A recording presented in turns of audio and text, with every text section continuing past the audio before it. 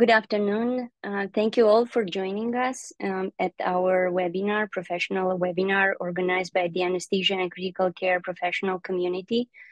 Um, the broad topic of our webinar is hot topics in orthotopic heart transplantation. We have designed the webinar as a, a multidisciplinary uh, event. We have a cardiologist, a cardiac anesthesiologist, and we were planning on having a surgeon as well. Unfortunately, Dr. Zuckermann, um, our surgeon, could not um, could not join us uh, for the webinar. Nonetheless, we we promise to keep you entertained. Um, as a, a, structure for the webinar, we have um, a chat in which you can ask questions.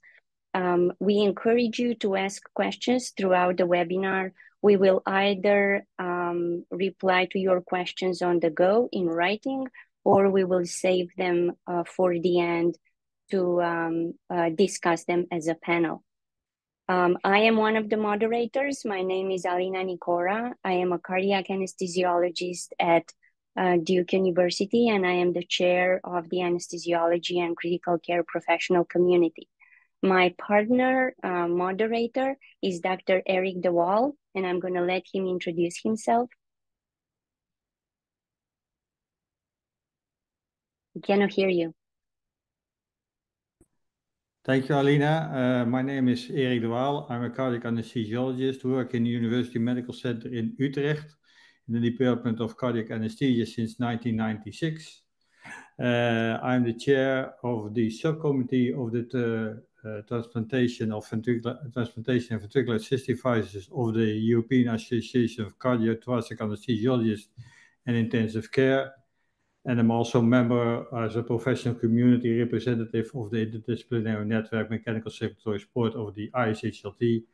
And I'm very happy to be the, your co-chair at this webinar. So thank you very much. Thank you, Eric. Um, so we're going to start our webinar. Um, our first speaker is Dr. Uh, Joseph Rogers. Both Dr. McCartney and my, myself have had the pleasure of working with Dr. Uh, Joe Rogers at Duke. He's a cardiologist specialized in heart failure. He is currently the president and CEO of Texas Heart Institute, and he is one of the past presidents um, of the ISHLT. Thank you, Dr. Rogers, for, for uh, joining us. Well, Alina and Eric, thank you very much for the kind invitation to participate. I have to say that it's really wonderful to see how this community has grown and flourished and organized. I very much remember being, you know, on the board uh, and then rising through the executive committee at ISHLT and having conversations about this unmet need to get our anesthesiologists and critical care physicians more engaged in the society. And so it's very exciting for me to participate in the in the webinar, but just to see how this has grown under the leadership of many of the people who are on this call. So Alina and Eric, thanks very much to you for taking the leadership role and, and driving it forward. I think it's just a critically important part of what we do at ISHLT.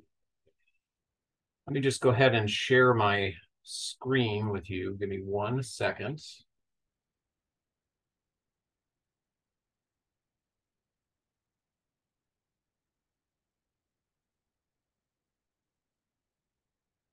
So I believe that we should be in good shape. Let me know if, if it's not. so my task today uh, is to describe a little bit about the U.S. heart allocation policy changes that occurred in 2018. And I, I find myself recently sort of traveling around the country trying to um, sort of defend this policy change. Uh, and it's partly because I was the chair of the UNOS Thoracic Committee when this was implemented. So a lot of the work that the committee had done leading up to this policy change was driven by me and several colleagues uh, across the country. I, will highlight for you at the outset that this was a very data-driven process. Uh, you know, it wasn't just a bunch of people sitting around a room, um, you know, sort of making up what we thought the policy should be, but there was a there's a, a large body of evidence to support the the the policy changes that were made, and I'm going to highlight those for you, and I'll tell you where I think the policy hit the target, and I'll tell you where I think the policy missed the target, and, and, and I'll explain a little bit about why we missed in some cases. if you wanted to um, get just sort of a broad overview of what's happened with since the policy change, I'd refer you to this paper, which unfortunately I don't actually have the the exact citation, but Neil Matra, who was a medical resident uh, with us and, and, and me and a few others, decided that we were going to review the literature of what we had seen occur um, after the policy change because there are so many people writing right now about the pros and the cons of the policy change. What we thought we would do in this one paper, which was published earlier in the spring, was just try to collate all of that information into one place so that on that day, you would have a clear idea of, of how the policy change has impacted heart transplantation in the United States and just again to remind you, and I, I, apologize to the international colleagues, although I think that there are some messages here that translate to your specific countries and your regions, but this will be mostly focused on the US policy change. The, the number of heart transplants being performed annually is shown in the graph uh, on the right, and there has been an increase over the last 20 or 25 years in the number of transplants a lot of that being driven by an increase in the number of donors. And in the United States, particularly, um, we believe that a lot of that's being driven or was being driven by um, the opioid crisis that we have been living through in the United States. And then more recently, so many people have begun thinking hard about uh, extending the number of donors through the use of, of um, the OCS uh, systems of warm perfusion and also DCD transplantation. So I think that we're going to continue to see the number of transplants going up. But in the United States, um, the the um, prioritization and allocation of organs is driven by a, a, governmental decree that was called the final rule. And some of the the fundamental principles of the final rule are shown over on the left side.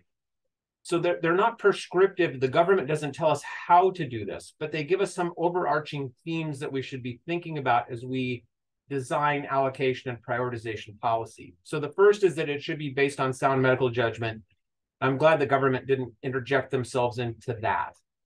They tell us that we should make the best use of these donated organs and we should distribute them as widely as medically reasonable to benefit the citizens of the country.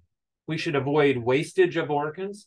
And finally, that we should be considering um, uh, making sure that the access to organs is equitable and that the, the placement and management of this entire process is efficient.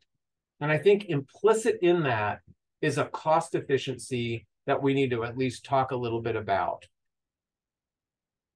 So when we started looking at the data, there were a number of important challenges that we recognized in the old system. So this is in the system that was in place before 2018.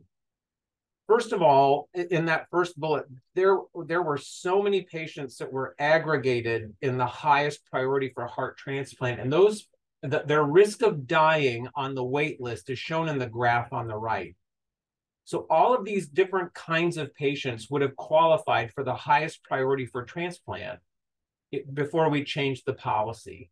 And you can see that the risk of dying on the wait list ranged from between about five deaths per 100 patient years on the waiting list up to 1,500. So as an example of some of the problems we set out to solve, we said, geez, it would make sense for us to try to stratify patient risk a little bit better than this um, we recognized that there were an awful lot of patients who didn't, for whatever reason, didn't meet a criteria to be placed at a high priority. So Dan Myers and I went through several years of exception requests and tried to understand their risks of dying on the wait list and fit them into the prioritization strategies. You'll remember that in the years leading up to 2018, there was an explosion in the United States of mechanical circulatory support device support as a bridge to transplant. In fact, it had gotten up to almost 50% of the patients waiting for heart transplantation were waiting on a VAD. And we had no standardized definitions for adverse events. We knew that, and we thought that the, that lack of standardization was leading to disparities in, um, in transplantation rates, and it was inequitable for the population of the country. So we built uh, definitions into the criteria for the policy change that define adverse events. The other thing that struck us was that severity of illness was often determined by physician decision rather than physiology. It was based on whether a physician decided to place a patient on an inotrope or whether, and, and there was no criteria to do that, or put a PA catheter in someone, or put a patient in the intensive care unit, or put a balloon pump in. And so what we did in this new policy was we defined what, what cardiogenic shock is, and with the idea that if you were going to declare your patient sick enough to move up on the transplant waiting list, by virtue of having shock, they had to meet specific objective criteria that could be measured and remeasured to justify why a patient should stay on that kind of support. The other thing that we defined in this was what important ventricular arrhythmia, what consisted of important ventricular arrhythmias. Um, and then finally, it was very clear that the geographic sharing was suboptimal before 2018. And I can give you a, an example uh, and I'll use North Carolina where uh, where Alina and Sharon and I practiced for many years at Duke. There were two transplant centers that were one about a hundred miles apart, and we were in different um, uh, sharing regions in the United States. They're called DSAs, and so it could turn out that a patient would be called in and transplanted from home in Charlotte, North Carolina, in preference to a patient who 100 miles away was on ECMO at, in Durham, North Carolina. And while we might understand as, as health professionals why they had that system in place, because it was easy to administrate, if you try to explain that to a patient whose family member was, or their, a family whose, whose family member was dying, it made absolutely no sense. And so one of the things we did was we expanded the geography of donor distribution, especially for the high priority mm-hmm. patients. And so in this slide, you can see what we did. We went from a three-tiered system to a six-tiered system. And I'm not going to read all of these to you, but the status ones are the highest priority, most critically ill patients, and we grouped them together based on their risk of dying on the waiting list. I'll show you that that actually, we picked a very sick group of patients. But as you move down the, the list, um, just from status two to status six, you can see that the severity of illness and the risk of dying begins to drop off. And I'll show you the data that supports the fact that we actually group these patients fairly well. We actually also gave some advantages to patients who didn't have it in the old system. So there was no accounting for adults with congenital heart disease, some of the other conditions that are almost impossible to treat in other ways aside from transplantation, like amyloid and some of the restrictive cardiomyopathies. And there was no accounting for patients who needed multi-organ transplant in the old system. So the prioritization is shown on the left side of the slide. And on the right side of this slide, what I've done is shown you how we expanded the geography of, of recipients for an individual donor. And what I did was I just used St. Louis, Missouri as the bull, the bullseye of this concentric circle graph. So let's say there was a donor in St. Louis, Missouri, right in the middle of this graph. For the highest priority patients, for the status ones and the status twos, they would be offered organs. Um, if there was a recipient in that bold green circle, they would be offered to status ones and twos in the bold green before it came back to less severely ill people in the center. This is distinctly different from the way it was, and it solved some of the problems that I mentioned about Durham and Charlotte, North Carolina. So the sickest patients have a broader geography from which they might get an organ. And that's the way we we decided. And we actually, when we just so you know, when we originally proposed this, that's a 500 mile radius. We originally proposed a thousand mile radius for the sickest patients. And as we as we socialized this new policy with the transplant community, they felt that that was too far. So we brought it back down to a 500 mile radius. Dr. Rogers. Yeah. May I ask you to go to slide view so that we can see your slides a little oh bit Oh my better? gosh, I'm so sorry. Thanks, Alina.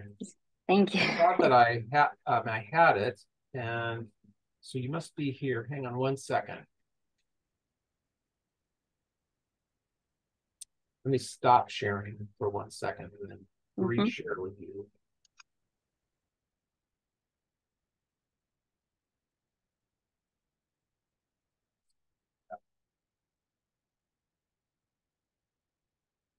So how is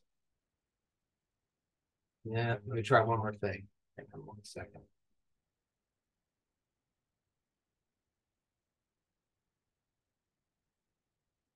How's that? Perfect. Very good. Perfect. So, uh, so sorry, I thought I had it right. So let me show you some of the data from um, wh- what we have seen over the last, you know, four or five years. so first of all, on the left side of the slide, what you can see is what the status of what the waiting list patients look like at the time that they're listed and the, the time they're transplanted. And as you can well imagine, there was sort of a more normal distribution that was sort of bell-shaped uh, on the left side of the slide three. And as patients waited for the for their transplants in the old system, two thirds of them had progressed to the point that they were at the highest priority. So that's on the right side of the slide in the left column.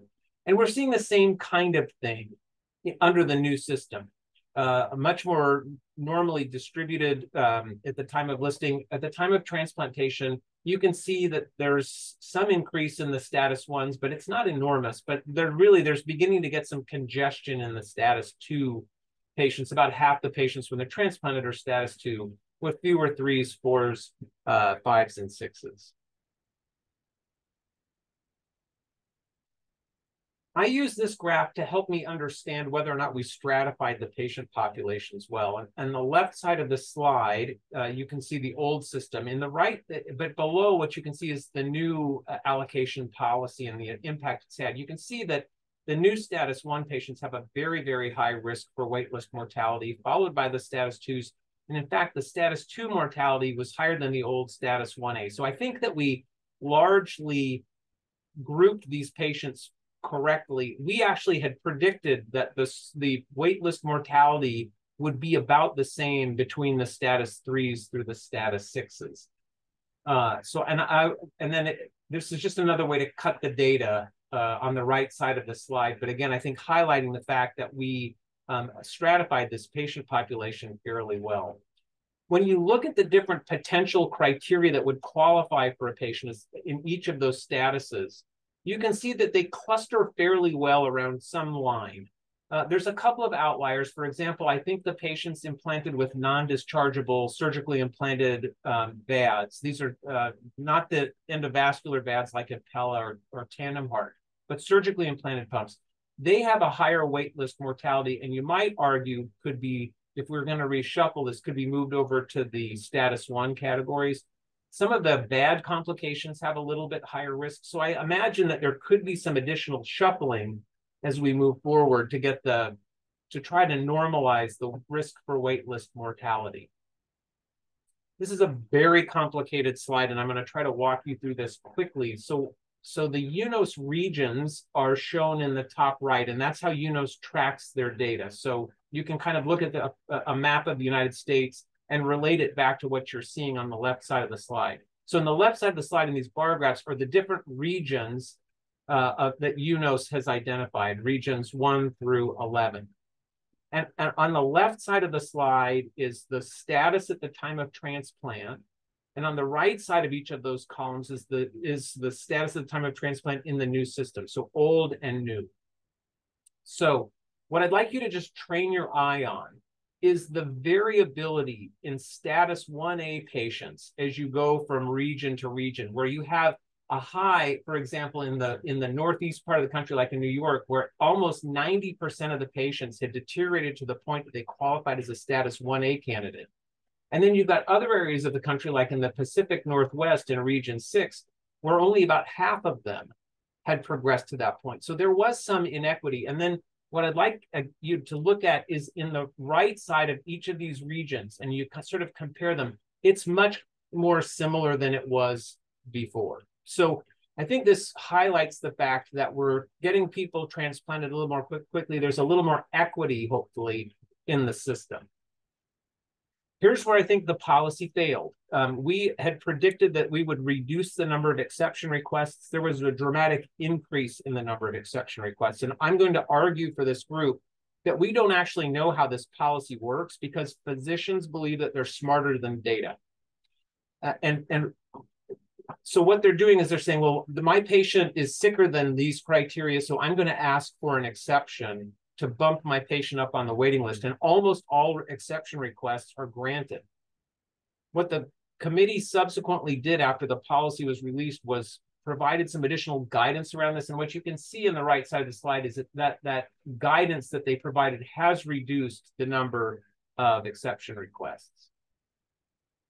Here's a, another piece of data about how we're doing with heart sharing. So on the left side of the slide, before we changed the policy, on the right side after, you can see that before 2018, two thirds of the hearts were being distributed locally. And what we're seeing after the policy change is a nice reduction in local sharing and, a, and much more either regional or national sharing of the organs. So we actually have with our concentric circle model focused on the high risk patients, are sharing organs more broadly and then increasing and improving the equity in the transplant system.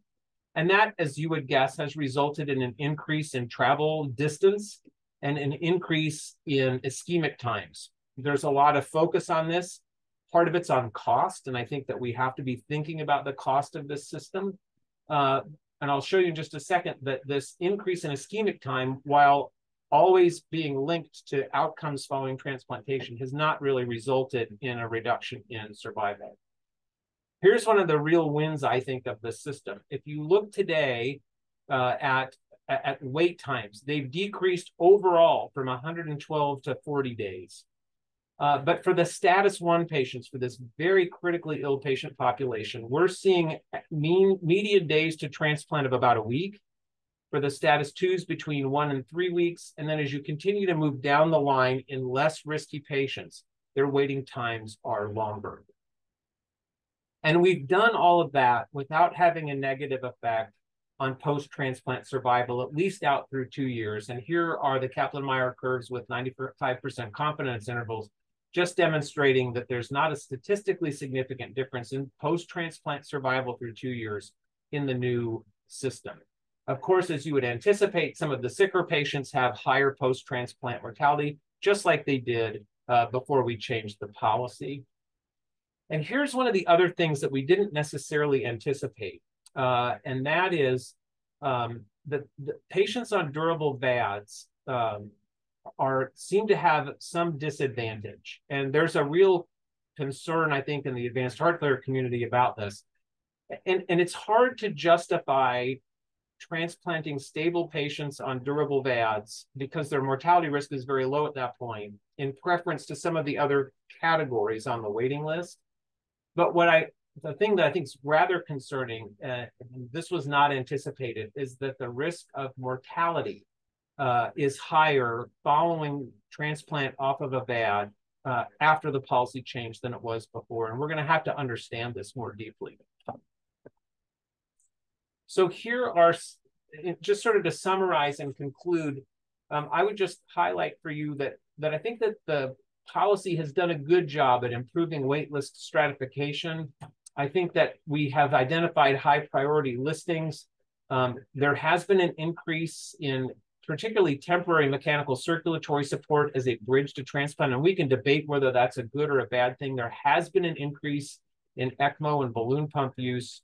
Um, and then I, I, won't read all of these to you because it's a little bit, uh, you know, you can read, here's the reference to that paper that I had made earlier, but I think what we've seen are reductions in wait time, reductions in wait list mortality, and a real focus on getting the sickest patients transplanted more quickly.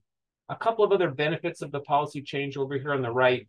I think that the transplant community is now very interested and engaged in organ allocation. which is great because almost no one was thinking about it or writing about it before we changed the policy. And people have come up with some really innovative, great ideas about what things that we should be doing in the future. Um, I'm going to again argue that this has not been well tested because so many people are asking for request uh, requesting um, exceptions for their patients. I still think it would be interesting to see how well this works if we really followed the policy and followed the data that informed the policy changes. There are future plans to to change the way we're allocating all, all, organs in the United States. Hearts last on the list, but this idea of continuous allocation will once again shake this up just a little bit. And the other thing I'm just going to highlight for you is we cannot model physician behavior when we do things like this. We instantly saw a reduction in durable VAD implantation and instantly saw an increase in temporary mechanical circulatory support. There was just no way to model it. We predicted that there would be some of that movement. I don't think we predicted that it would be quite as dramatic as, as what we actually had seen. Uh, and, and, and the policy wasn't, you know, some people saying, well, you're making us put in, you know, fill in the blank. Policy doesn't do that. That does that, this is where physicians, I think, need to be sort of thoughtful, introspective about their program and be more thoughtful about the fact that this is a national resource. This is not a local or, or a programmatic resource and that we should be sharing organs across broader geographies to the benefit of the population. So, uh, Alina and Eric, thanks again, uh, and I'll look forward to the Q&A session. Dr. Rogers, uh, many thanks for this uh, excellent and interesting presentation. I have already two questions, but I will keep them posted uh, during probably the Q&A session, and I urge the audience to to ask the questions in the chat, and we will soon discuss some of them at the end of the session. Then uh, I will introduce the next speaker, Sharon McCartney. She's an associate professor of anesthesiology at Duke University Hospital in Durham in North Carolina.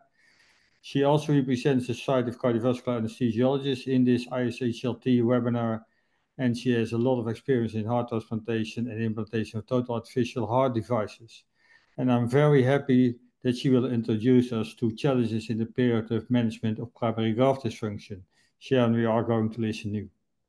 Thank you so much, Dr. de Waal and Dr. Nicoara, for inviting me to give this um, webinar alongside Dr. Rogers. This has been fantastic. Um, so I'll talk about some of the challenges that we face in the perioperative management coming from an OR and ICU perspective um, in taking care of patients with PGD and heart transplant. Oops, there we go. Um, so first, quickly, um, you know, we we know how to define primary graft dysfunction. This is from 2014. Um, this is separated. LVPGD is separated into mild, moderate, and severe. Mild meeting these hemodynamic or echo parameters, and um, low inotropes. Moderate having slightly higher inotropes or balloon pump, and then severe PGD being those patients on mechanical circulatory support for LV function. And then our RVPGD, which meets these criteria or need for RVAD. Um, PGD is kind of here to stay. There's um, donor characteristics, recipient char characteristics, and then procedural characteristics that all um, put patients at risk for PGD. Um, unfortunately, many of these are non-modifiable, especially those donor characteristics and recipient characteristics. And so PGD is here to stay, and we sort of need to um, get better and learn how to treat it um, effectively. There's quite a bit of challenges in treating PGD um, first, you know, medical versus mechanical management. What type of mechanical management? Um, what timing? And we'll talk about that a little bit here. Um, treatment of PGD is typically thought of in like a stepwise fashion. So first comes the inotropes, maybe then the pulmonary vasodilators, um, systemic or inhaled. Um, some institutions um, marry these together uh, uh, on initial treatment of, of the graft. Um, and then as, you know, there is graft dysfunction, uh, maybe we increase the inotropes, place a balloon pump, and then ultimately mechanical circulatory support um, in, in this um, figure just in the form of VA ECMO. Um, I'm going to go through a couple of sort of representative case examples of what we see in the operating room and the ICU um, and talk about these challenges. So our first case is a 61 year old female with non-ischemic cardiomyopathy um, who came in in cardiogenic shock um, with a balloon pump and underwent heart transplant. Um, this is her post-bypass um, echo and hemodynamics. She's on epinephrine 0.1 and inhaled Veletri. Um, and you can see the hemodynamics um, are poor. She has a cardiac index of 1.2, low SVO2, and RV dysfunction with some LV dysfunction as well. Um, so what do we do next? Um, for this patient, we went ahead and placed her on VA ECMO. Um, this is the, the echo um, of the patient immediately uh, on VA ECMO um, to rest the heart. Um, and then two days later in the operating room, um, the patient was brought back to the operating room. The epinephrine had been weaned from 0.1 to 0.06. Um, the inhaled Veletri was still going, and this is an echo on two liters of VA ECMO flow. And you can see here that hemodynamics are, um, you know, stable. Um, and we take we took the patient off VA ECMO. This is on less inotropy than that first echo um, uh, at epi 0.06 and inhaled Veletri. We have great hemodynamics. Our index is 3.2. SpO2 is um, about 70. Um, and this is follow up of that patient two weeks later at the time of discharge. And you can see some RV dilation, but certainly the function, um, both LV and RV, have significantly improved. So just some takeaway points from this case, um, early MCS was instituted in the form of VA ECMO in the operating room. Um, the allograft made a quick and significant recovery in about two days, um, resulting in decannulation. And the patient didn't suffer any additional end organ dysfunction, which I think is very important in these patients. And they were discharged two weeks postoperatively. So um, a little bit of increased length of stay, but you know, certainly two weeks post-op is, is certainly acceptable for a heart transplant patient. Um, this is a second case, 28 year old male with non ischemic, cardiomyopathy who um, underwent heart transplant. And this is his post bypass um, echo. Um, epinephrine was at 0.1 mics per kg per minute. He was on dopamine 5 and then inhaled nitric. And you can see here the hemodynamics are certainly acceptable with an index of 2.8, good SpO2, good blood pressure. Um, you can see a little bit of LV dysfunction. Um, the RV is moving okay, some, some certainly some mild dysfunction. Um, and this is still in the operating room, but one hour later. And you see that LV um, has decreased some um, in function over that time. We're still in the same inotropes. Our index has um, decreased a little bit down to 2.1. Our blood pressure is a little bit lower, and our SVO2 has um, suffered a little bit as well. So um, we opted to place a balloon pump.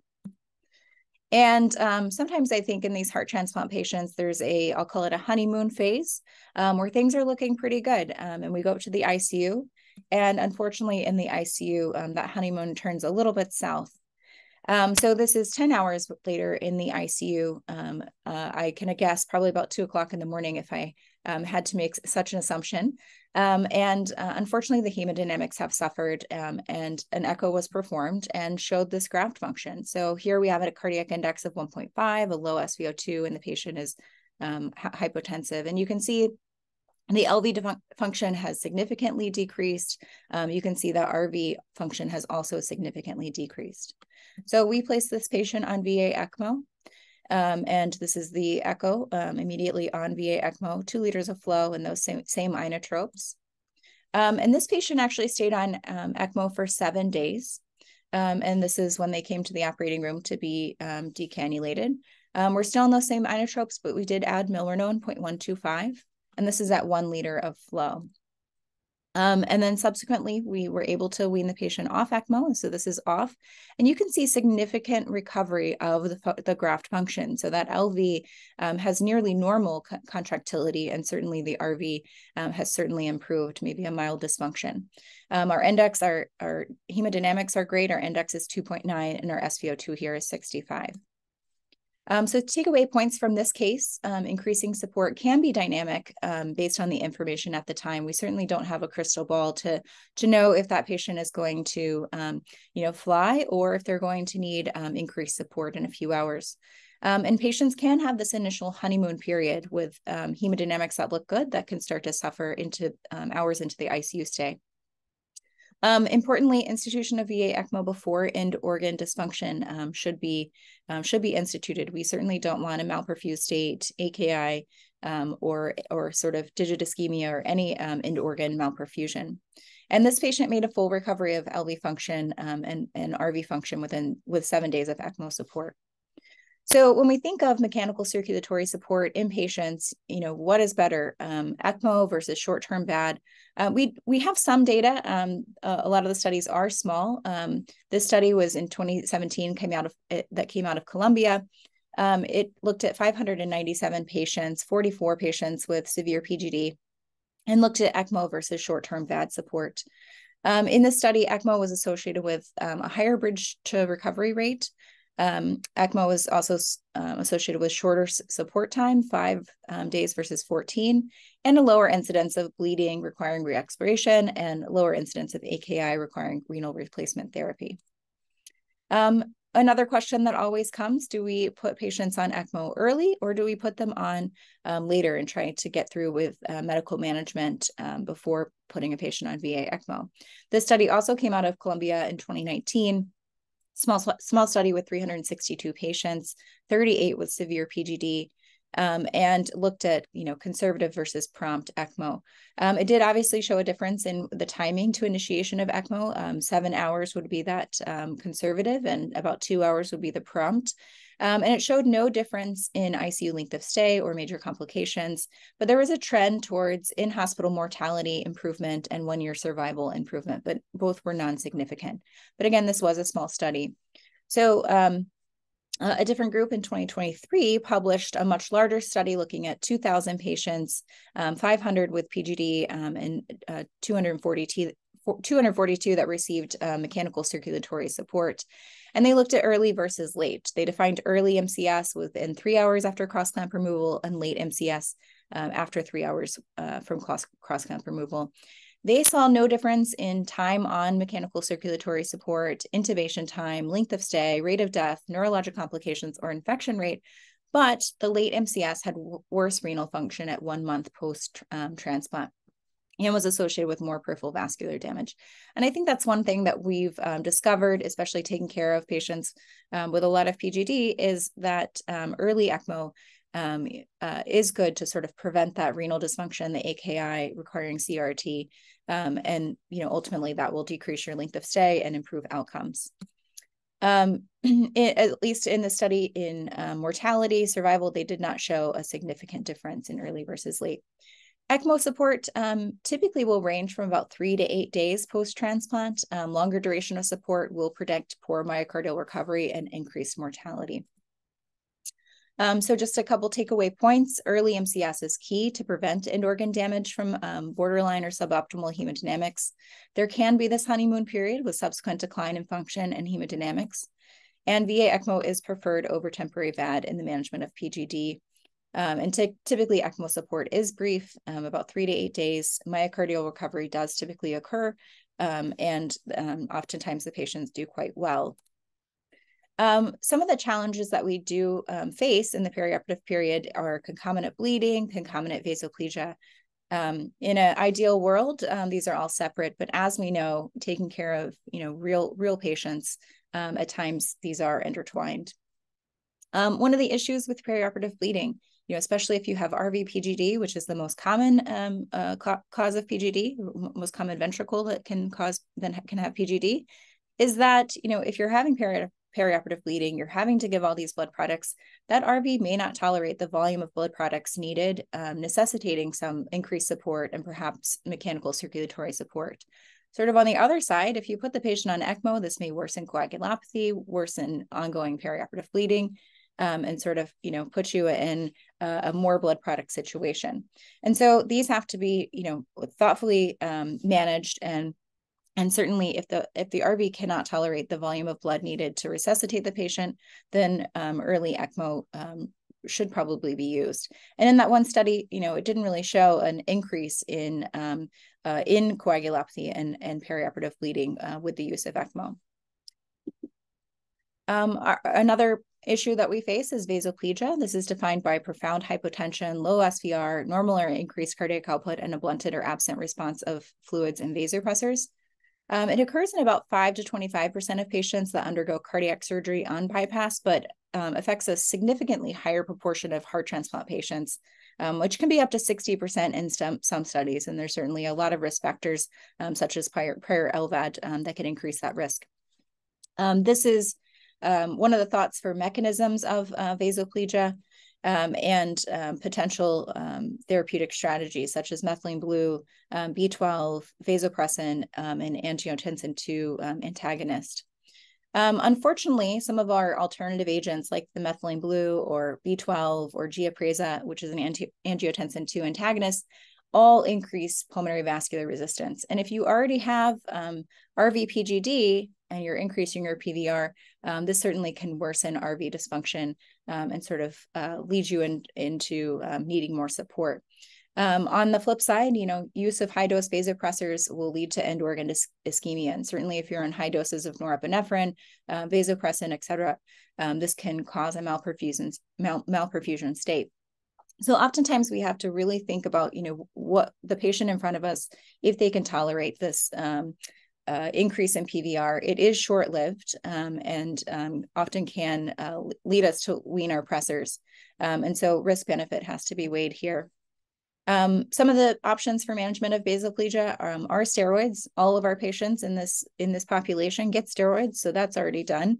Um, pressors such as norepinephrine, vasopressin, um, some use of dopamine can be um, uh, can be thought of as well in the literature.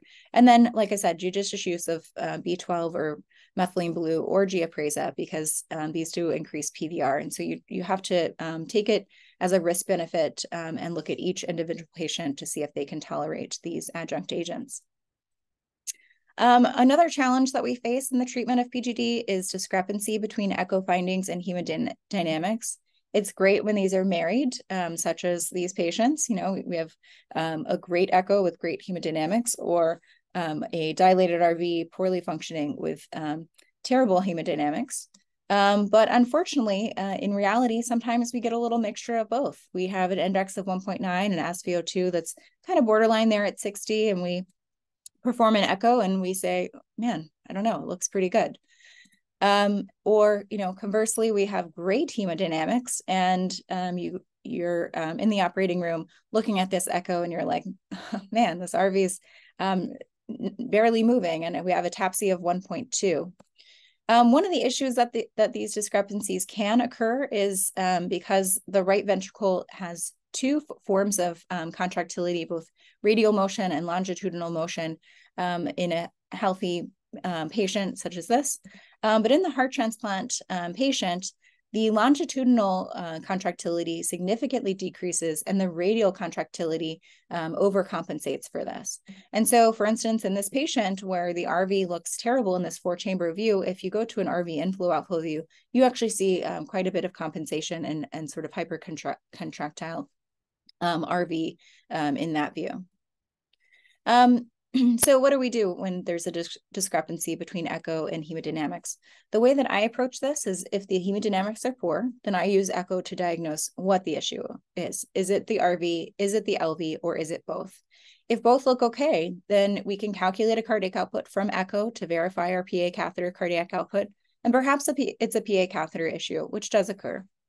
Um, and if the hemodynamics are okay, but the echo looks terrible, um, just continue to cautiously monitor the patient.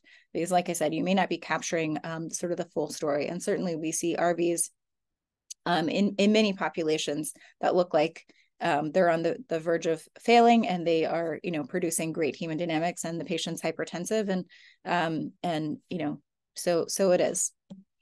Um, what do our outcomes look like in PGD? So um, in mild, moderate, and severe, there is an increasing um, risk of in-hospital mortality um, uh, based on the grade of PGD, um, reaching 40 to 50% of in-hospital mortality or retransplantation in severe PGD.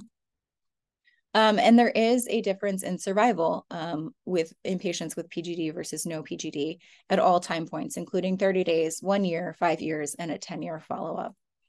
Um, some of the other outcomes of PGD, there are higher AKI rates, um, there are higher total ICU hours, higher ventilator hours, higher reoperation for bleeding, um, higher blood product transfusion, length of stay, and then higher cost because of all of these things. These are all costly um, interventions. Um, so just to summarize, PGD is here to stay. We must know how to treat it. Um, early MCS is preferred, VA ECMO preferred over temporary VAD, which has changed in the past um, few years as a sort of culture and with, with some data. Um, time heals many things, including PGD, and support is typically only needed for a few days, and the heart um, typically does recover. And then vasoplegia and perioperative bleeding can be challenging uh, co-founders in these patients. And in a subset of patients, echo and hemodynamic discrepancy can make interpretations very challenging. Thank you. Please don't cut. Um, Thank you, Sharon. Thank you, Dr. Rogers. Um, we will start with questions. We do have a few questions in the chat. I will start with the first uh, question for Sharon. In your experience, how much stability is needed before uh, uh, contemplating weaning the patient off um, ECMO after after heart transplantation? I know you take care of these patients in the intensive care unit, so it's a very good question for you. Yeah. Um, so as far as stability, the patient does need to be um, stable, um, and I I use hemodynamics to define that stability. Um, certainly, the patient could be on a little bit of norepinephrine or vasopressin for SVR. Um, we typically will wean the inotropes um, a bit while we're on on ECMO, and that way we have some room to go up if we need to as we wean the patient off. Um, we will do trials um, uh, in the ICU before taking the patient to the operating room to take them off ECMO. And um, what we do is, you know, it, we will, if the patient's on three liters of, of VA ECMO or four liters, we'll take them down to three to two and then down to one. We don't go further than one. And um, importantly, I'll look at the hemodynamics at each step. And then if the um, and then look at the echo. If the hemodynamics start to suffer, um, similar to what I said, if the hemodynamics start to suffer, then I look at the echo to diagnose what the issue is. Is it an LV problem or an RV problem? If the hemodynamics are good, then I just sort of do a comprehensive echo at each step just to look at everything, make sure I'm not missing anything. If the patient tolerates that one liter of flow hemodynamically, the echo looks good, then we typically say this patient is ready to come off.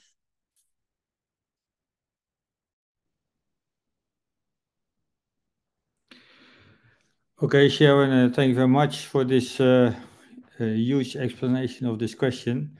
We have a question from the audience. Um, for example, um,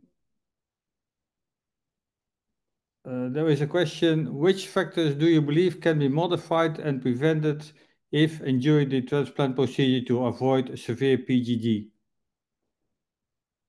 Unfortunately, there's not a lot that um, we can modify. You know, things like ischemic time can be modified, but you know, the, the organ has to come from somewhere. So, um, uh, you know, we are working on modifying those with things like TransMedics, um, uh, organ care perfusion devices, or with cold um, alterations of cold cold storage. Um, but you know, once it's there, it's kind of a non sorry a non modifiable factor. Um, as far as other things in the operating room, um, I don't think there's a ton that we can we can modify, except you know minimizing complications, uh, minimize minimizing bypass times. Okay. Um, uh, I have a. Okay, go. I have a question for Dr. Rogers. I know that he has been very active and re replied to some questions in the chat, but um, I've seen you you have shown nicely how hearts are now distributed not uh, regionally but more nationally. Um, however, ischemic time does not seem to have been impacted in terms of resulting in worse outcomes. Do you think this is a result of um, the um, evolution of the ex vivo perfusion system and implementation of these uh, of these systems? Yeah, Lena, I mean, I think it's a great analysis to do. And I don't know the answer specifically to your question, but you'd have to think that it should have some impact. I, my initial reaction to your question was although there has been an increase in ischemic times, it's not dramatic. And I don't know that we've crossed a threshold yet where we would actually begin to see at a population level some change in outcomes. So if you're just looking at the po- the data sort of from a 30,000 foot level based on what the policy has done, I just don't think that we, although the ischemic times are longer, they're probably not long enough to have a negative impact on survival. Can I ask Sharon a quick question about PGD? Sorry. So Sharon, I mean, one of the things that we had gotten interested in for a while was how donor management impacted the risks of PGD. And one of the things that we had noticed is that there was sort of um, unfettered use of of thyroid replacement in donors. And I want we've gotten very interested for a while in whether we were taking hearts out in a very energy depleted state and then using, you know, sort of cold storage for several more hours and whether that was contributing. I do you have any thoughts about sort of some of the donor management issues that might be related to sort of mitigation strategies? Um, that's a good question. Unfortunately, I don't have a ton of experience in this, but I can tell you that, um, you know, based on those thoughts and the thyroid hormone, now donor management, I, I do think has been um, more consistent in replacing thyroid hormone. I know that we were replacing it at that time period that you were talking about um, in the operating room after cross clamp removal. Um, because the donor management with thyroid hormone has been more consistent, we have stopped that. Um, uh, so, you know, I think they've, you know, some feedback was given, and um, I'm told by Dr. DeVore at our hospital that that has gotten better, but I don't have a um, firsthand perspective. Um, I have another question to Dr. Rogers. Uh, you know, in lung transplantation, we have the lung allocation scale, lung allocation score. And in some patients with a higher lung allocation score, for example, 80, 90, we have to do some sometimes accepting marginal donor lungs for transplantation, and then we eventually can put them on EVLP. What about uh, patients with a higher uh, uh, score uh, for uh, getting heart transplanted uh, with marginal donors? Do you put them on DCD? is there, or do you put them on an ex vivo perfusion? And are there what are problem topics or issues or uh, things to do to improve uh, lung function of, of, cardiac function? Yeah. So thanks, Eric. Uh, two quick responses. I mean, I think a lot of people, when we put out the 2018 policy change, we're hoping that we would have a heart allocation score in in an attempt to replicate what the successes I think that you'd had in lung transplantation we had some real data deficits in heart. Uh, and we we had a hard time tracking patients through their illness. Um, we had data when they were listed. We oftentimes had data when they were transplanted, but not a lot in between. We had almost no data on pre-sensitization. And so one of the things that was built into the 2018 policy change was a more robust data collection with the mindset that we would try to emulate the successes of the lung allocation score. I do think that you're right. I think that there there's a, now I think some tools that we have in the toolbox that weren't really even being utilized in heart in 2018 and I think this idea that you all have pushed forward about kind of rejuvenating marginal organs on an ex vivo perfusion platform is really an exciting opportunity for us. And I think eh, eh, we're beginning to see this in, in heart transplantations. People are, you know, watching those hearts for a little bit longer time, seeing what they can do to improve the performance of some of these marginal organs. So I do think that that's the future of heart transplantation, and especially for some of these very high risk patients. If you can rejuvenate those organs, I think it's just going to expand the donor pool more.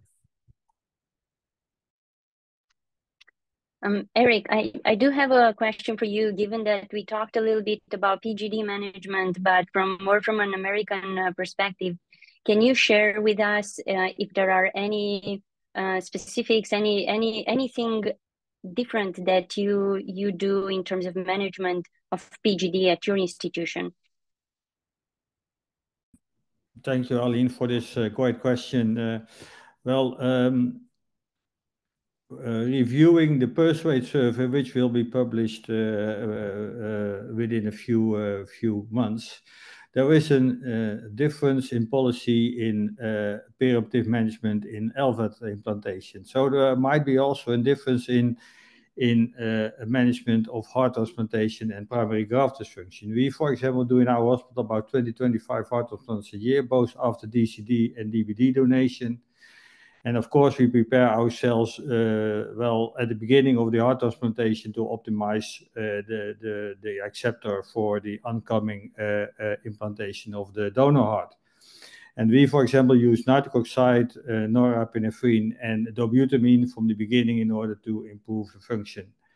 Um, well, but then uh, after after implantation of the donor heart, uh, well, some patients uh, do well and they go to the intensive care and they'll they recover well and they will be extubated soon. But yeah, some of them perioperatively, well, then you can see on echocardiography that they have an, uh, a moderate or bad uh, left ventricular and or RV function. So if it's moderate, then we go over to optimize the inotropic support. We wait, and well, probably we add epinephrine because we hardly use epinephrine instead of, for example, if uh, we look to the uh, Harefield Hospital in London, where I worked for three months, they are very used to use epinephrine during cardiac surgery in order to improve cardiac function. But we at our hospital do very, very uh, uh, less use epinephrine. So if we, we give epinephrine, then we have to be careful in order not the patient uh, will uh, become worse in the intensive care unit. Uh, if the patient has a severe periodic graft dysfunction early after transplantation, uh, then we put in a uh, VA ECMO and then the patient goes with VA ECMO to the intensive care in order to find out uh, what's going to happen and uh, to maintain uh, and improve adequate and organ oxygenation.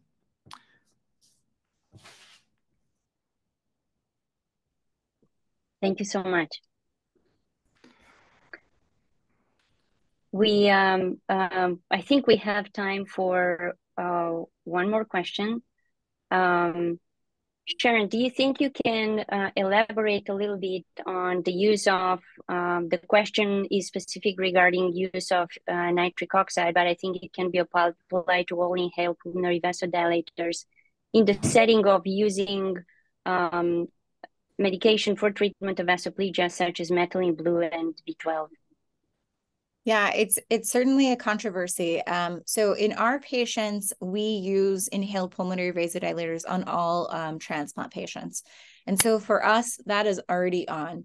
And so if the patient is um, experiencing vasoplegia um, and needs one of these adjuncts, and we feel that the patient can hemodynamically tolerate the increase in PVR, the short-lived increase in PVR that this these adjuncts, uh, methylene blue and um, uh, B12 causes, we do leave that inhaled pulmonary vasodilator on.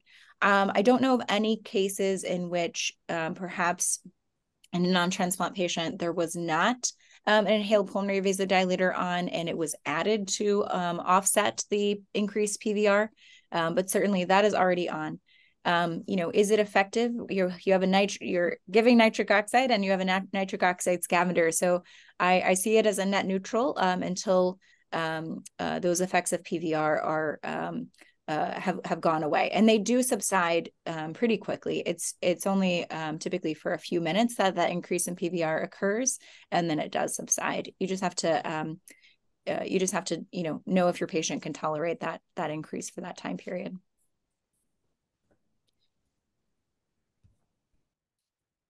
All right, uh, thank you so much. I think we are uh, getting close to the conclusion of this webinar. Uh, we want to thank you for your very active participation in the chat. Um, we will save all the questions in the chat and those that have remained unanswered, we will um, answer them in writing and we will post them on ISHLT Connect. Um, I have one announcement to make. There will be another um, very promising webinar on the 1st of November uh, at 1 p.m. Eastern Time from the cardiothoracic surgery um, professional community. Uh, the topic is perioperative optimization in heart and lung transplantation.